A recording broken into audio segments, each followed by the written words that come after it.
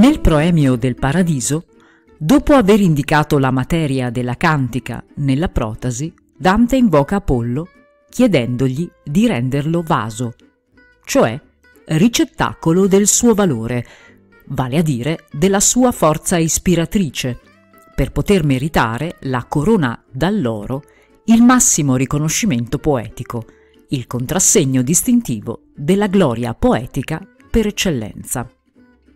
Sempre nel contesto dell'invocazione ad Apollo, Dante, per sottolineare ancora una volta che il racconto dell'indicibile, cioè dell'esperienza di Dio, è un'impresa ai limiti dell'umano, afferma che l'ispirazione delle muse è stata, per così dire, sufficiente per il racconto poetico delle prime due tappe del viaggio, inferno e purgatorio.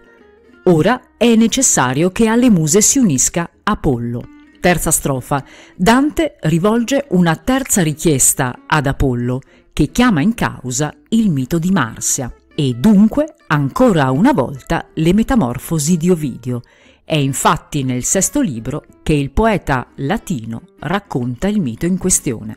Non è la prima volta che Dante chiama in causa Ovidio sulla soglia di un racconto importante. Lo aveva già fatto nel contesto dell'invocazione alle muse nel proemio del Purgatorio. È questo un segnale importante.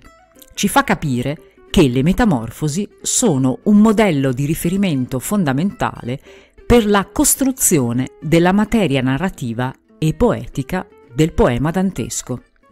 Torniamo al mito di Marsia e alla terza richiesta che Dante rivolge ad Apollo.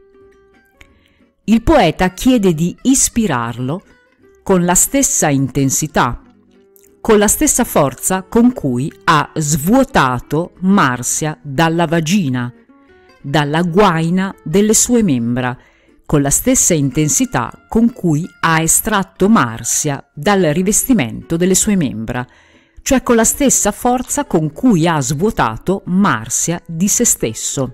La prima parte dell'invocazione si conclude con la rinnovata richiesta di poter ottenere la corona d'alloro, il massimo riconoscimento poetico, proprio in virtù del carattere sublime della materia della terza cantica. Ora, il proemio del paradiso è superiore ai proemi delle due cantiche precedenti per due motivi.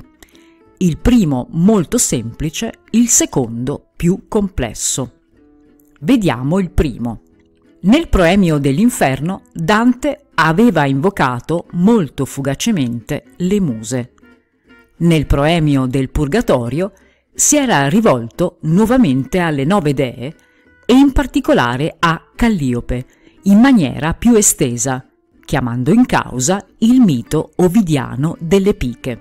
Nel proemio del Paradiso, consapevole della maggiore difficoltà dell'impresa, Dante chiede l'aiuto congiunto di Apollo e delle muse, dei numi tutelari della poesia.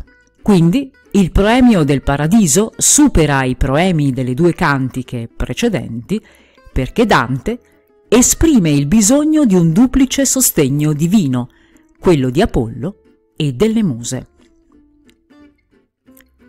Ma ad Apollo chiede anche qualcos'altro e lo fa chiamando in causa il mito di Marsia, Sta qui la seconda ragione per cui il proemio del paradiso supera quelli dell'inferno e del purgatorio.